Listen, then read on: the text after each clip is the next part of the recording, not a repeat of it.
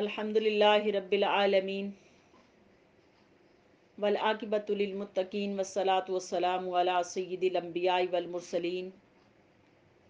वल्हम्दुलिल्लाहि रब्बिल आलमीन।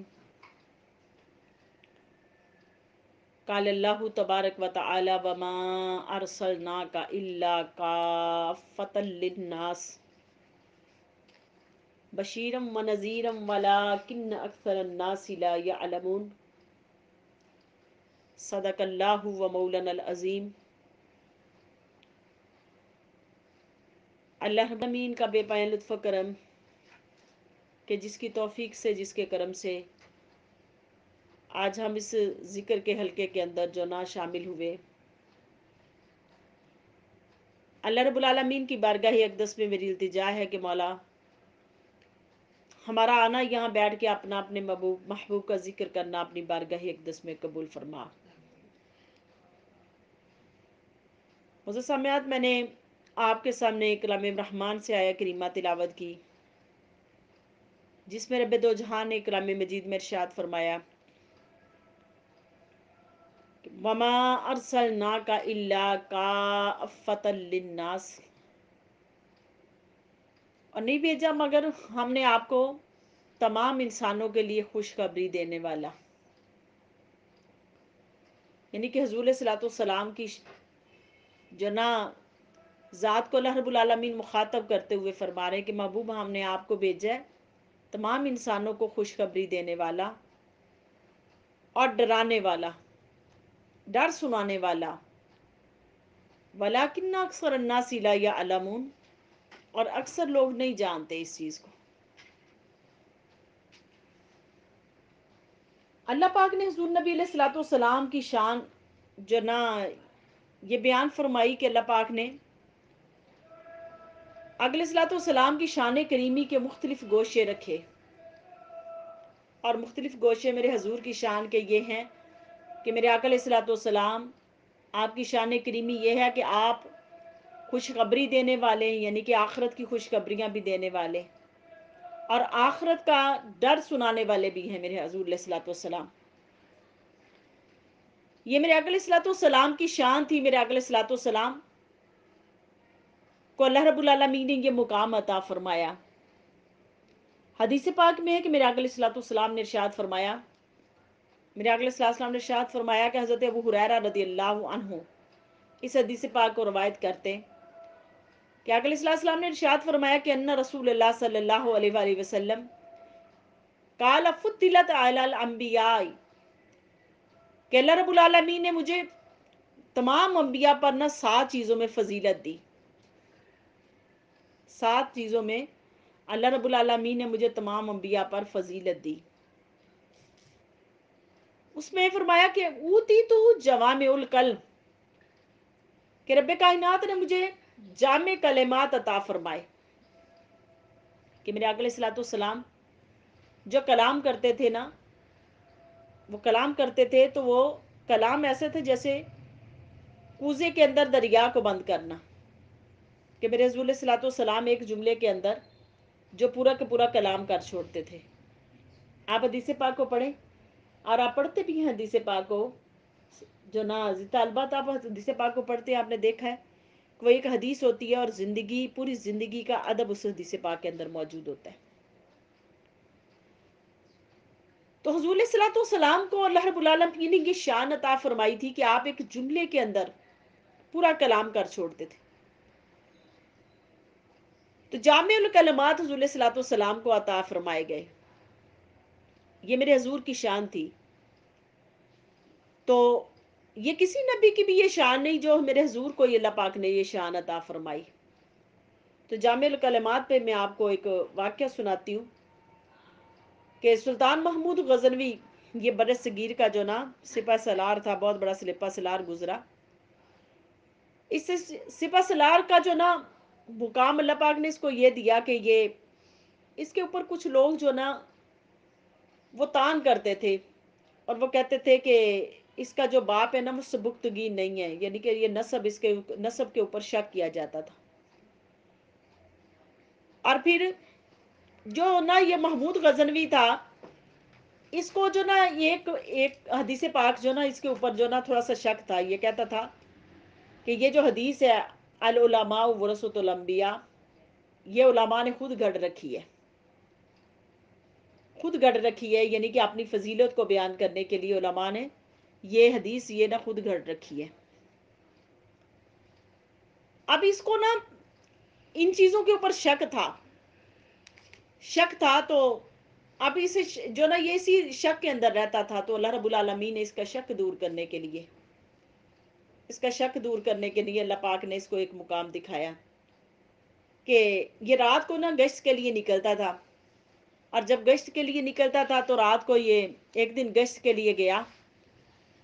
तो जब ये गश्त के पे गया ना तो रात को इसने देखा कि एक ना स्टूडेंट था बच्चा वो जो ना सरकारी जो ना काफिला गुजर रहा था तो उस जो ना सरकारी काफिले के पास ना रोशनी के लिए मशलें थी।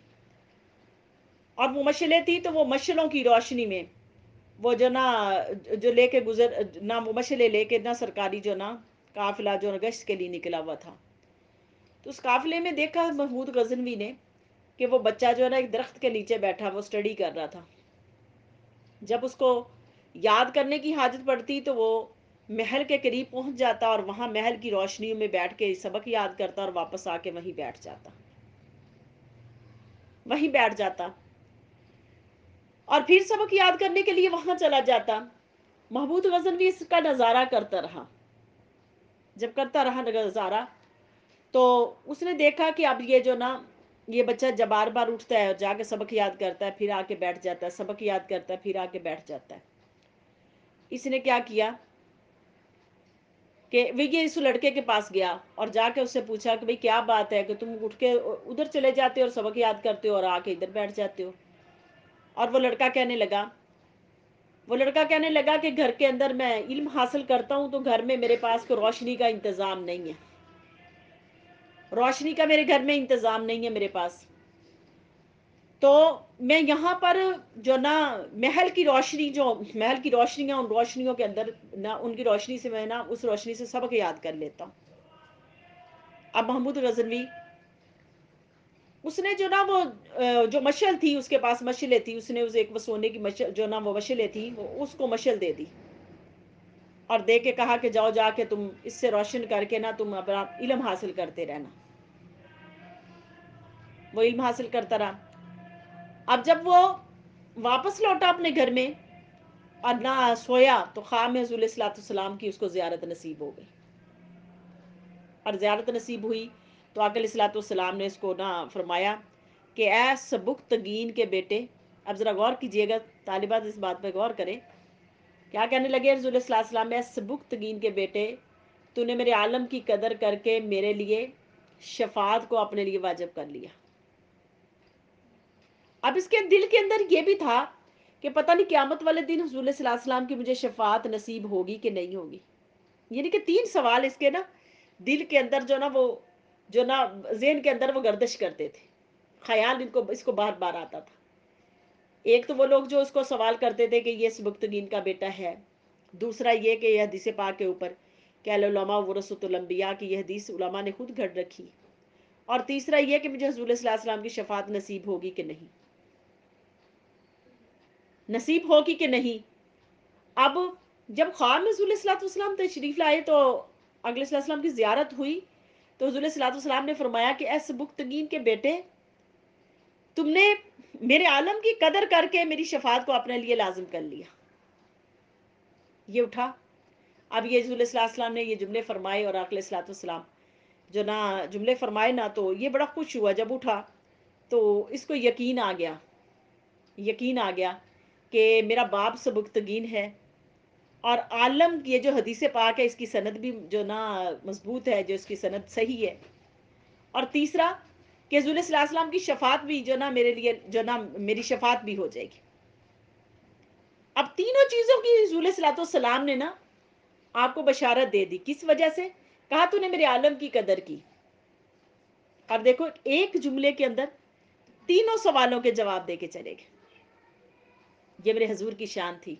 और ये किसी नबी को ये मुकाम नहीं, अल्लाह पाक ने अता फरमाया, जो मेरे आका को अल्लाह पाक ने मुकाम अता फरमाया।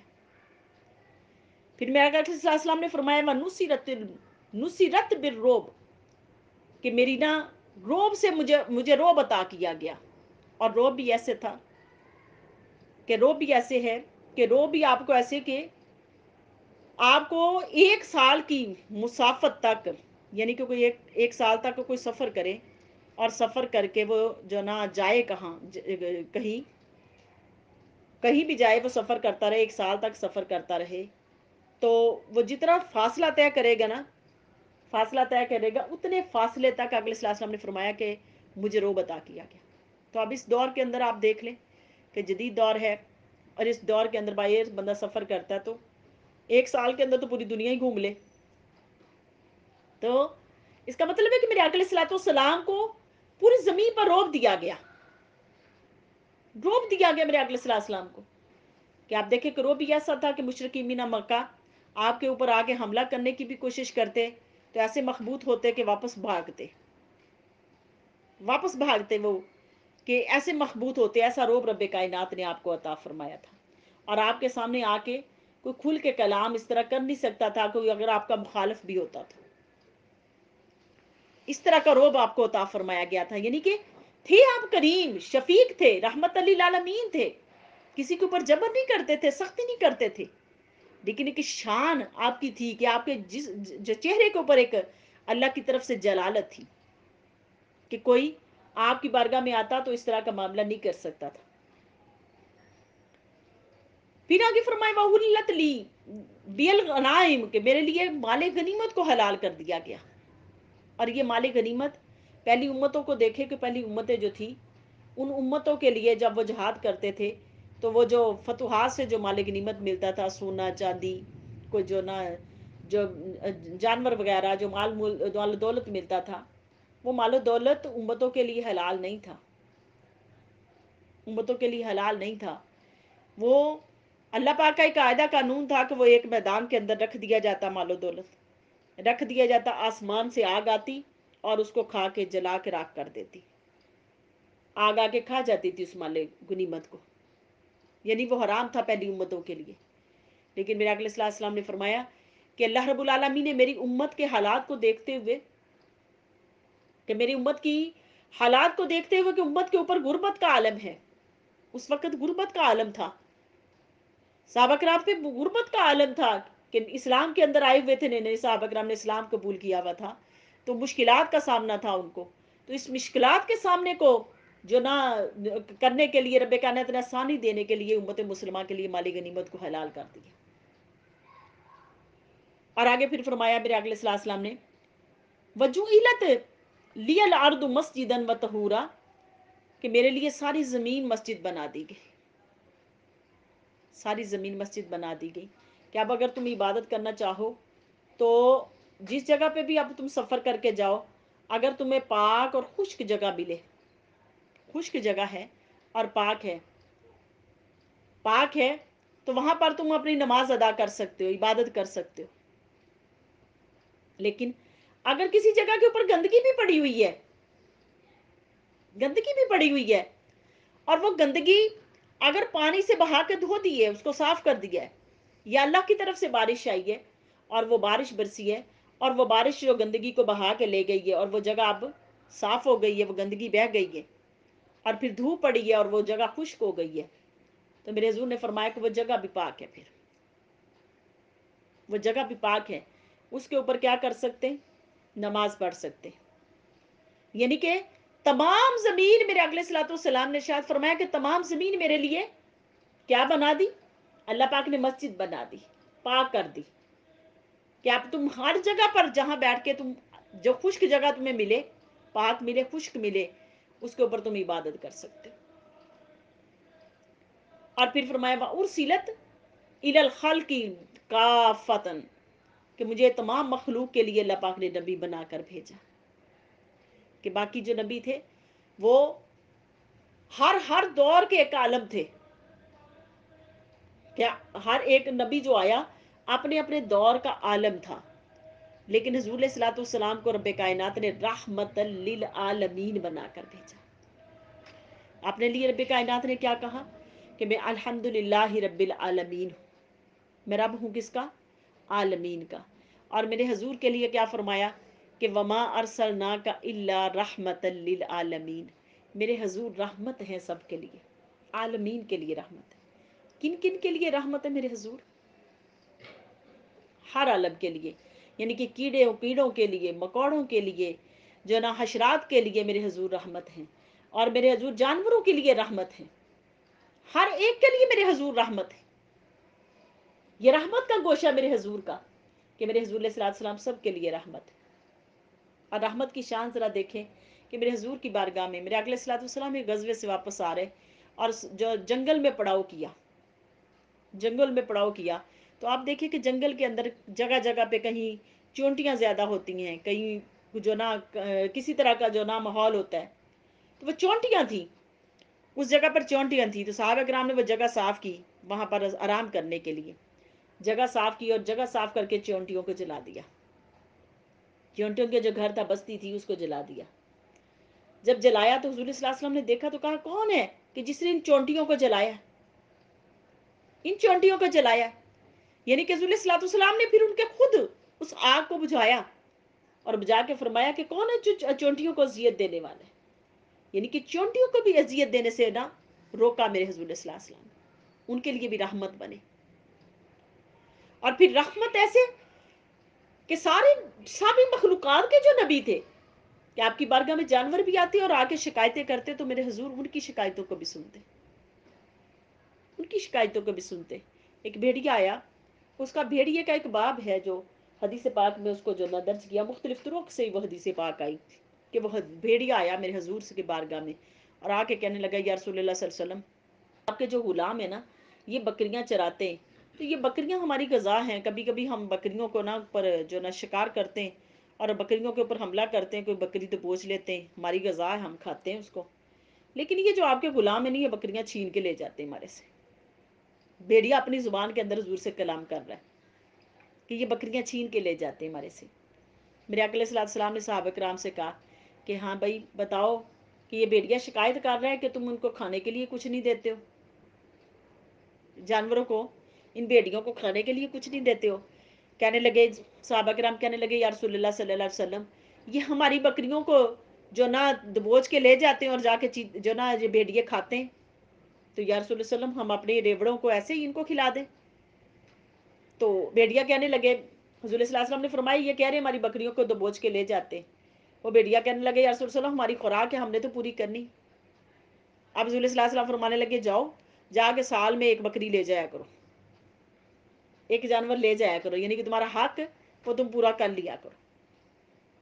कि यानी कि हर हर मखलूक के लिए रहमत थे मेरे हजूर। हर एक मखलूक के लिए रहमत थे। ऐसी रहमत बनाकर भेजा वहाँ कि तमाम मखलूकत के लिए लरबुल ने मुझे रहमत बनाकर भेजा। और फिर इर्शाद फरमाया वख़ातमा बिन के मुझे अल्लाह पाक ने आखिरी नबी बनाकर भेजा कि मेरे बाद नबियों का सिलसिला जो ना मुनकते हो गया। और फरमाया, मुझे ख़ातम नबी बनाकर भेजा कि आना ख़ातम नबी जीन अल्लाह नबी अबादी कि मैं ख़ातम नबी हूँ। और मेरे बाद कोई नबी नहीं आएगा। अल्लाह पाक ने मुझे इतनी शान अता फरमाई जो पहले नबियों को नहीं अल्लाह पाक ने ये मुकाम अता फरमाया वो अल्लाह रब्बुल आलमीन ने मुझे अता फरमाया। यानी कि सात फजीलतें मुझे बाकी नबियों पे ज़्यादा दी ये शान थी मेरे हजूर की। देखो इतनी शानों वाले नबी हमें मिले इतनी शानों वाले नबी मिले हमें। और जो उनकी शान को बुलंद करेगा ना अल्लाह रब्बुल आलमीन उनकी शा, उसकी शान को बुलंद कर देंगे। उसकी शान को बुलंद कर देंगे। तो मुझे सामयात मेरे हजूर की शान को बुलंद करने के लिए हर हर लम्हा कोशिश किया करो और शान कैसे बुलंद होगी, उनकी इतबा करके, उनकी तबाह करके। और इतबा कैसे करनी है कि जो जो अहकाम मेरे हजूर ने हमें दिए हैं ना, हम उन अहकाम के ऊपर हम अमल करें अमल करें और अमल कर करके हम उनकी शान को बुलंद करते चले जाएँगे, अल्लाह हमारी शान को बुलंद करते चले जाएँगे। अल्लाह रबालमीन हमें हजूल सलाम की सच्ची पकी इतबा गुलामी नसीब फरमाए वमा अलैना इल्लल बलाग।